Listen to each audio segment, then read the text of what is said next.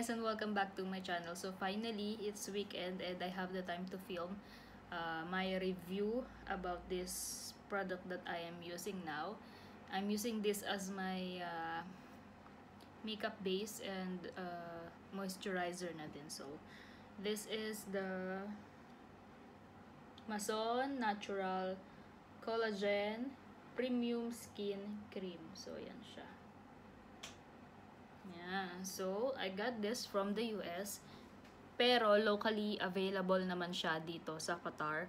Uh, medyo may kamahalan nga lang siya pag binili nyo siya sa mga reseller. Pero, parang ganun din naman yung price kapag bumili kayo sa, sa from US kasi may shipping fee pa kayo na babayaran. So, might as well support small businesses na lang and yung mga resellers natin. And since uh, gagawa na natin siya ng review, papakita ko lang sa inyo yung clips ng few clips na nag-apply ako ng products para makita nyo siya under makeup and all. So, bali ginagamit ko siya under makeup sa umaga bilang moisturizer kasi I have a combination and acne prone skin. So, ginagamit ko siyang moisturizer and then after moisturizer, after using this as moisturizer, naglalagay ako ng sunscreen and then powder. So, yun. And then, sabi dito, yan o, apply to a cleansed face, neck, and or body in the morning and evening. Ako, ginagamit ko lang to sa morning.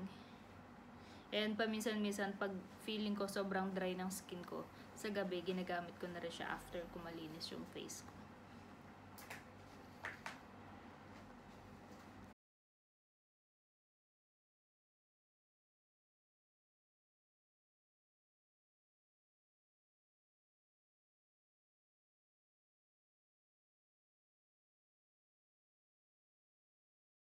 So yan, kahapon, nagtry akong maglagay ng Mason Collagen Cream before ko matulog and ngayon naman in-apply ko siya bago ko maglagay ng uh, powder. So naka-powder lang ako ngayon and a little bit of uh, blush on.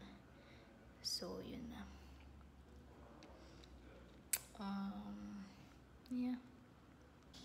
So, last night, yung first time ko gumamit ng Mason Naturals na collagen cream. And ang lambot niya sa balat. Parang, ano, parang naglagay ng, parang naglagay nung mask na nabasa. Parang ganun yung feeling kinabukasan. Ang lambot niya, pati sa kamay, oh. Feel na feel ko pa din yung lambot niya. So, yan madami lang akong mga blemishes and dark spots kasi nga acne prone skin ako. Pero yung collagen talaga ang lambot. Ang lambot sa mukha. So yan. Tuloy-tuloy ko lang siyang gagamitin and then update ko kayo. So ayan. Ito na yung final. Final final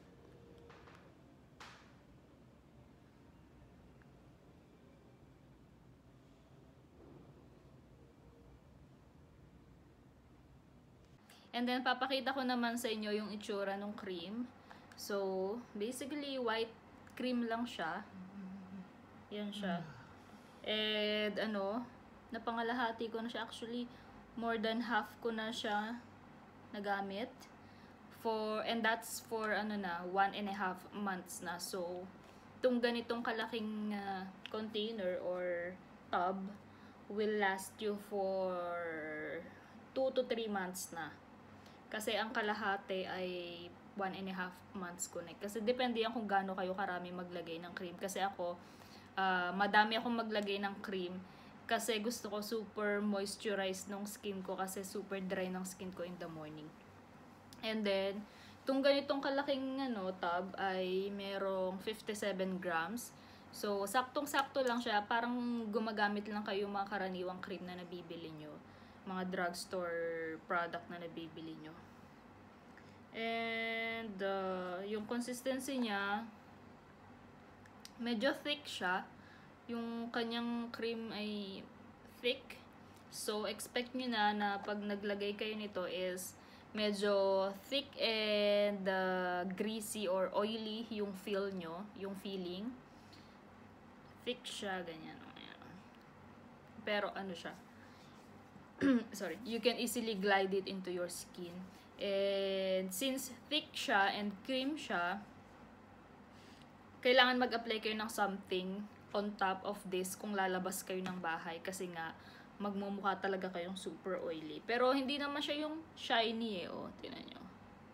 Pero since oily skin ako, combination skin ako, talagang pag hindi ako naglagay ng powder on top of this or any makeup on top of this, magmumukha talagang super oily talaga ng face niyo.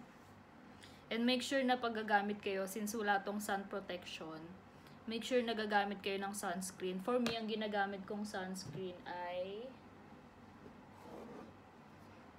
itong CeraVe uh, Facial Moisturizing Lotion with SPF 30. Actually, moisturizer siya. Kasi nga super dry ng skin ko. Moisturizer siya pero meron siyang SPF, kaya ginagawa ko siyang sunscreen on top of this one. Yan. Ito lang naman ay for, ano lang, daytime kapag lalabas. Kasi, ano, AM siya. Merong, ano, version nito na pang PM, moisturizer na pang PM and may SPF din siya.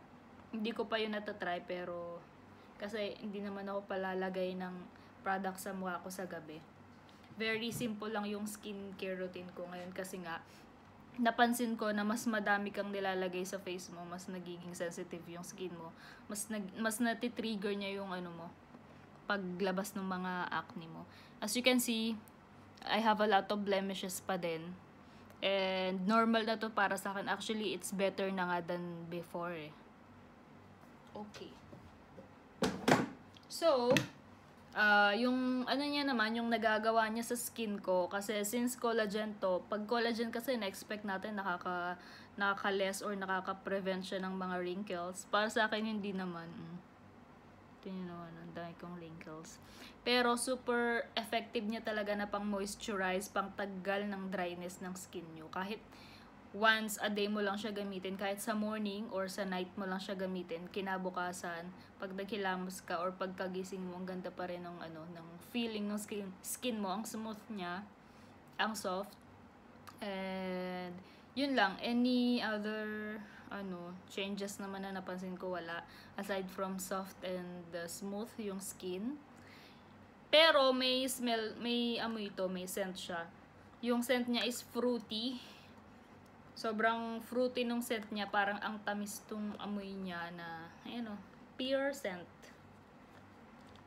Pure scent daw siya. So, kung sensitive kayo sa mga products na may scents, kasi yung iba, ano eh, pag nag, pag gumagamit ng mga products sa face nila na may scents or matapang yung amoy, uh, lalo na yung mga sensitive skin, nagbe-breakout sila. And for this one, since ano ko, combination skin, acne prone skin, na may pagka-sensitive, hindi naman ako nag-breakout dito. So, super ganda niyang moisturizer. Yun nga lang, like I said, medyo thick siya. So, you need to apply powder after using this one. And, you know, my final thoughts is, I think, ano, okay naman siya pero, mas maraming products na mas, alam yun, okay lang siya. Hindi siya yung wow na product na makikita mo may dramatic change changes sa skin mo na papagandahin niya yung skin mo. Hindi siya ganun. Basta sinabi lang niya dito na may nourish dry skin. So, ang nagagawa niya lang talaga is napapalambot niya yung face mo, nasa smoothly niya yung skin mo. And, uh, kung tulad ko kayo na madaming dry patches here and there, matatanggal niya yon And perfect siya, pati kapag nagme-makeup kayo, yung daily makeup look nyo, sobrang ganda niyang ipang makeup base kasi naho-hold niya yung makeup the whole, for the whole day. So, yon And for me, this is an okay product. You can try it for yourself kung effective, uh, kung magiging effective sa inyo for me, it's an okay kasi madami na akong products na nagamit and may mga products ako na nagamit na sobrang ganda. yung mga products na okay lang. And this one is okay lang. So, parang hindi mo siya magiging holy grail. Pero kapag nabili mo na siya at nasa iyo na siya, parang okay lang, gagamitin mo na lang kasi binili mo na. Ganun. So, yan.